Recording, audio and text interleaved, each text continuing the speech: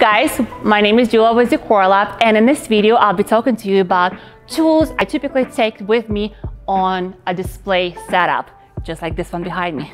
You guys ready? Let's go.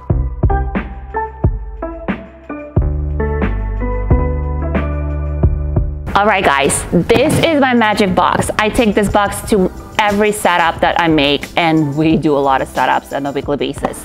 So I wanna make sure it's seen this is what it looks like. Um, so I'm gonna go through each thing that I have in here. So this is my basis for balloons. So I have the fishing line, I have the ribbon, and then I have a twine. Twine I use for some of the balloons creations, and I use it to hang the balloons and to hang the streamers, sometimes to tie whatever I need to tie to whatever surface I need to tie it to. So twine is an amazing tool to have on hand.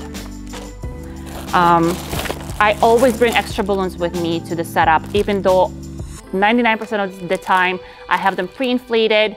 You never know what is it going to look like in a space. What if the balloon is going to pop? What if you're not happy with how it looks? So you have that handy with you on site so you can always add the more, more balloons. And in order to create a balloon, you need your balloon pump. I actually have two electric pumps with me and I typically have two hand pumps with me, one small one for the 260s and one bigger one for the regular balloon. I also have the full roll of the U-Glu dashes, so these are perfect for you know, filling the holes with the single balloons or attaching balloons to the wall or basically anything else. So you will see me using that in a lot of videos uh, that I'll show you. Uh, we're using them a lot in the Decor Lab school, so very good tool to have. Another base, those are my 260s, so we use them for pretty much everything, for balloons, for streamers, uh, for sometimes some of the displays. So uh, really, really useful uh, material to have. Zip ties. I feel like every decorator needs to have a handful of zip ties.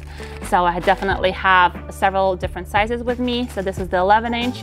I typically have a little bit of the 11 inch, a little bit of the 8 inch, and a little bit of the 4 inch with me. Um, 4 inch is perfect for the signs, uh, and 8 and 11 inch are perfect for your bases.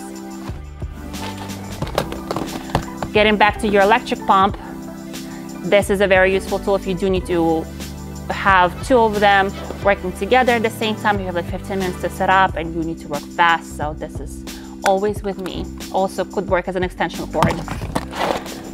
These two boxes is the last thing that I have. Actually, it's three things I have. So let's start with the boxes.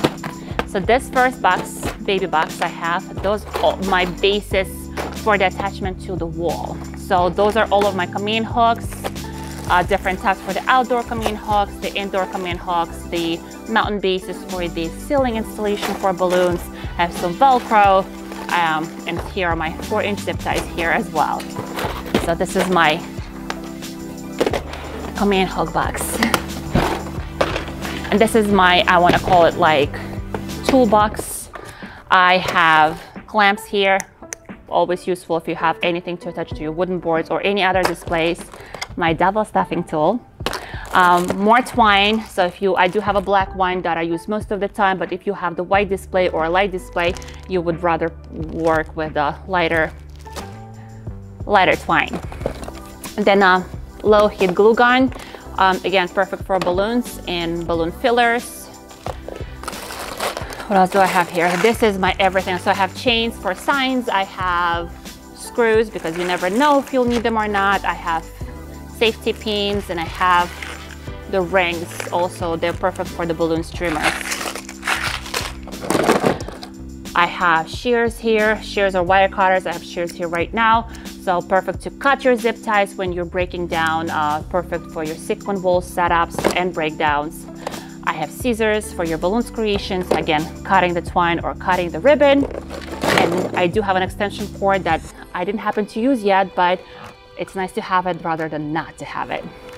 So, and this is my toolbox.